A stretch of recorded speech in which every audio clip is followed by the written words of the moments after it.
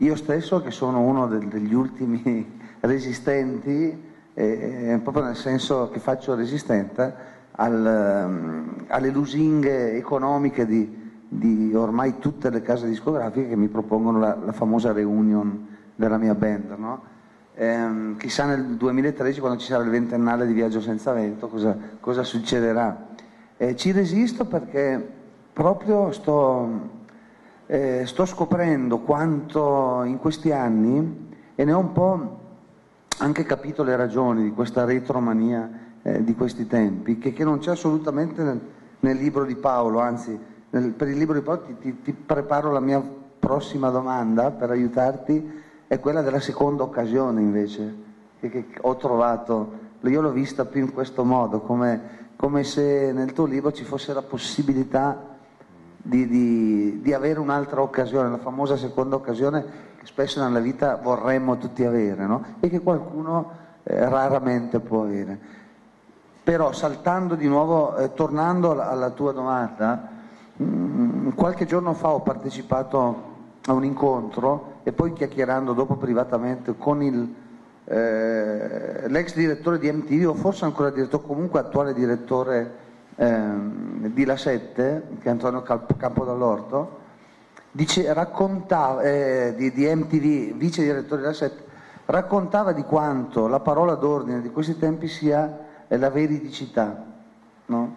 Se negli anni, negli anni eh, 2000 o, o fine 90 la parola d'ordine era la velocità, eh, quindi comunicare in fretta, velocemente. Nostri, le nostre nuove generazioni, i nostri figli sono bravissimi ad agire con velocità, no? E l'assenza della profondità, quindi la memoria, a me è venuto in mente quando parlavi eh, della memoria, del non dimenticare, eh, mi è venuto in mente Merlino quando in Excalibur dice la maledizione degli uomini è che essi dimenticano. Io l'ho proprio intesa come come prima tu intendevi anche la, la frase di Nietzsche, cioè la memoria, un popolo senza memoria perde la sua storia ma perde anche il suo futuro.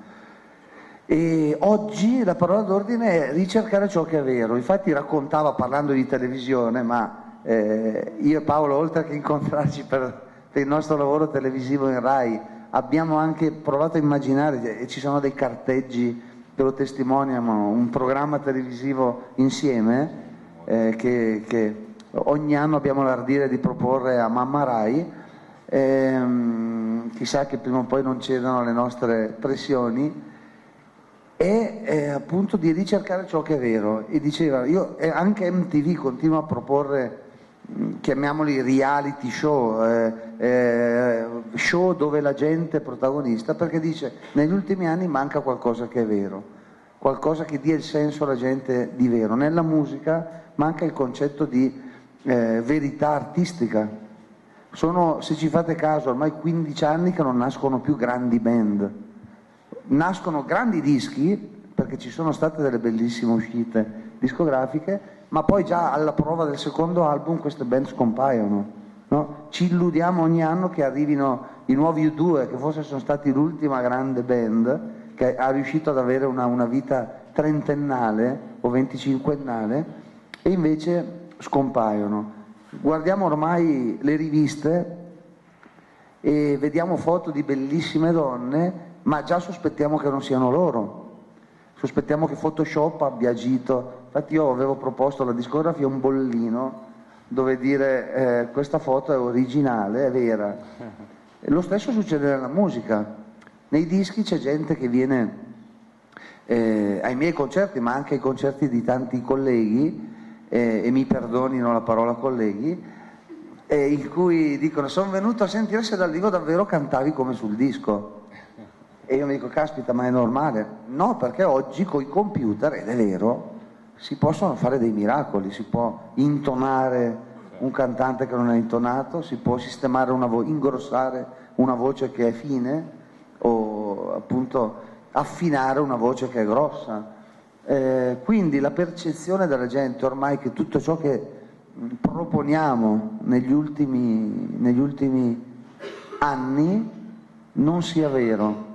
E funzionano in tv questi programmi, da quelli più banali a quelli magari un po' più intelligenti che ci possono essere, e appunto eh, Antonio Campodall'Orto raccontava che anche MTV eh, ottiene successo propone, proponendo programmi in cui il ragazzo abbia la sensazione di essere lì. E la parola d'ordine di questi reality show, voi pensate ai più banali che ahimè probabilmente una volta o due abbiamo, siamo stati costretti a guardare tutti, la parola vincente è dire io sono una persona vera, no, perché esistono persone non vere, mi chiedo io. La letteratura, e qui eh, quaglio, arrivo al nostro tema, sta sopravvivendo a questo. Il libro sta resistendo a internet, sta resistendo a, al download illegale, eh, il libro viene ancora annusato, la musica ha iniziato a perdere questo eh, questa aura, questa, mh, mm, questa, energia che dovrebbe eh, avere un'opera d'arte. Ecco perché secondo me in questo caso si, si possono eh, trovare tante, tante mh, emozioni vere nei libri più che altrove in questo momento. Sì, questa cosa che dici, tra l'altro, applauso. No, la utilizzo per eh, riallacciarmi alla narrativa di Paolo che voleva anche giustamente parlare dell'ultimo libro che ha fatto. No, perché cioè, mi è venuto in mente un racconto.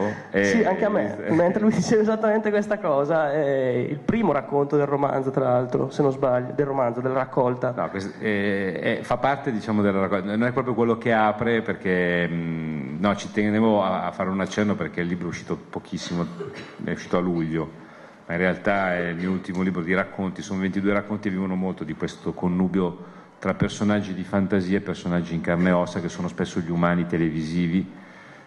Si chiama Il cane parlante di Sebeng perché è, il filo conduttore è, è una, un braccobaldo, non so se vi ricordate, è un personaggio un po' antico dei cartoni animati che è diventato un malavitoso sboccato che si dà le rapine nei bar per fare giustizia eh, de, degli esseri umani televisivi che hanno soppiantato i cartoni animati e tra questi c'è il protagonista di un racconto che proprio entra nella casa di un famoso reality show imbottito di tritolo e chiede di partecipare dicendo io non voglio vincere, io chiedo solo di partecipare a eque condizioni ed è il personaggio più vero dei concorrenti perché è talmente reale da essere noiosissimo banale, ordinario, è lo specchio della mediocrità di noi spettatori, intendo per mediocrità quello che ci, che, che, che ci rende media spesso, no? il tragitto a casa lavoro, la metropolitana, l'efficienza e l'efficacia di andare a pronto soccorso piuttosto che rivolgersi a un medico, cioè le rate del mutuo, queste cose qui, tutto ciò che lo rende protagonista in realtà, questo è un pollice verso deciso del pubblico, cioè è reality più degli altri, che sono personaggi costruiti dagli autori, improbabilissimi, perché è vero che i personaggi dei reality, insomma, a me forse sono io che frequento persone poco reali, ma non ne ho mai incontrata una nella mia vita di tutti i giorni che si accosti minimamente a questi personaggi molto costruiti.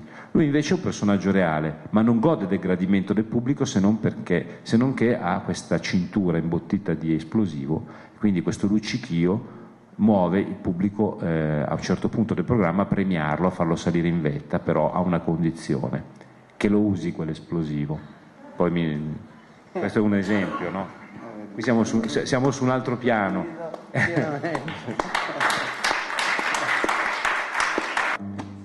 Le primarie dei numeri. Poiché si trattava di numeri, l'ordine degli interventi fu stabilito in modo naturale. Iniziò il 9. Tra tutti i numeri fondamentali ritengo di essere più importante e lo dimostra un semplice calcolo. Io sono frutto dell'accoppiamento di due perfezioni ma si levò un brusio matematico. Avete capito bene, continuò il 9, io nasco dall'accoppiamento di due perfezioni. 3 per 3 fa appunto me. Dunque mi candido alla leadership. Non diciamo fesserie, replicò l'otto. Vogliamo parlare di segni e significati? Se mi metto disteso divento il simbolo dell'infinito che ogni cosa racchiude, compresi voi. Sono l'unico numero che si possa leggere in orizzontale.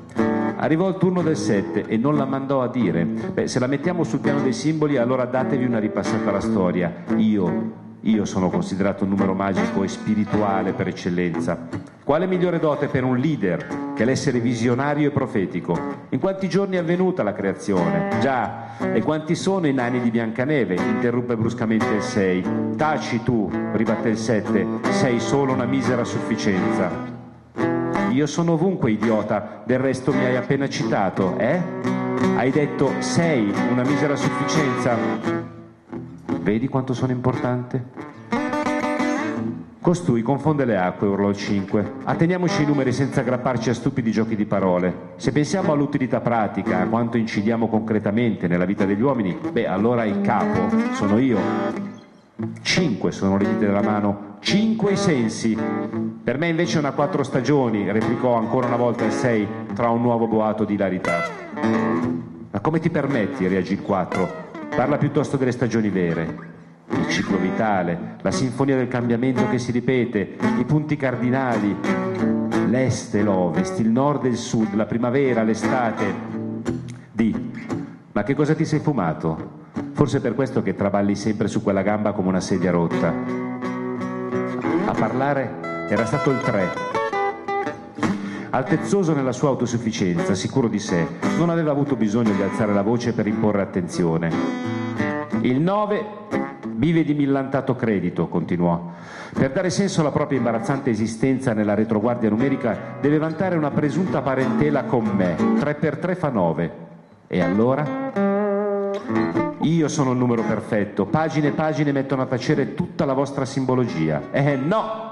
intervenne improvvisamente il 2. Un conto è la tradizione che sfocia nella convenzione quando non nel conformismo, un altro conto è la vita, ma riflettete. Maschio e femmina, giorno e notte. Io armonizzo gli opposti e assicuro la pace. Senza di me sareste condannati alla sprezzante solitudine e alla guerra. Io rappresento l'unico vero accoppiamento possibile. Vogliamo parlare delle ammucchiate? osservò sarcastico il 6, ma questa volta nessuno rise. Nella sala aleggiava ormai lo spirito dell'ultimo intervento previsto. Adesso basta!